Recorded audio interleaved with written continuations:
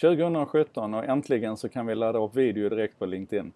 Det känns ju som att syndaren ska vakna sent, eller hur? Um, LinkedIn har väl inte riktigt vetat vad man ska göra av det här. Alltså, helt klart är ju att man länge har förstått värdet av video. Man köpte ju linda.com, den här videokurstjänsten, eh, 2015 för en och en halv miljard tror jag det var, dollar alltså.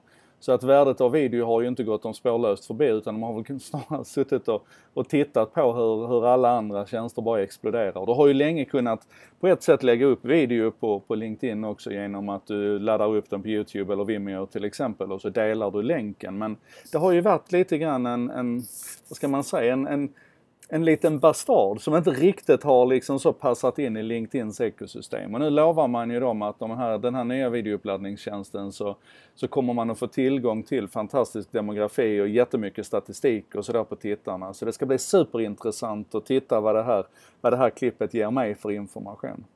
Eh, det finns massor med begränsningar. Eh, du kan till exempel inte sända live. Klippen kan bara vara 10 minuter långa. LinkedIn har i någon outgrundlig visdom rekommenderat 30 sekunder till 5 minuter så att där inom det spannet tänker jag hålla mig. Du kan bara göra det från, från mobiltelefonen. Så att Eh, Eh, du måste alltså använda appen i mobiltelefonen för att ladda upp videon. Däremot kan du naturligtvis skapa den och producera den på en dator eller ja, hur du nu vill. Och bara se till att få synkat över videoklippet till din mobiltelefon via Dropbox eller iPhoto eller något och, ladda upp det den vägen.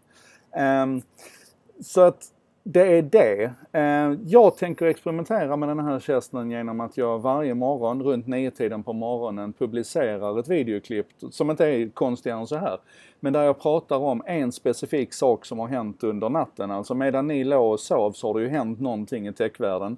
Framförallt då i, i USA tänker jag mig. Och det här är lite grann som jag gjorde med Jardenberg kommentera men då var det ju text och det var 20 grejer och det var väldigt korta kommentarer. Och det är väl det enda som stämmer nu också, det är att det ska vara väldigt korta kommentarer. Jag kommer att försöka inrikta dem på en enda sak alltså.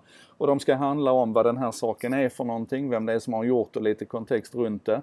Eh, varför det är viktigt och vad det kan betyda för oss, alltså vad kan man göra av det här? Det är lite grann det ramverket jag försöker hålla mig inom. Så klockan nio varje morgon, en sak som du bör veta om det som hände medan du sov.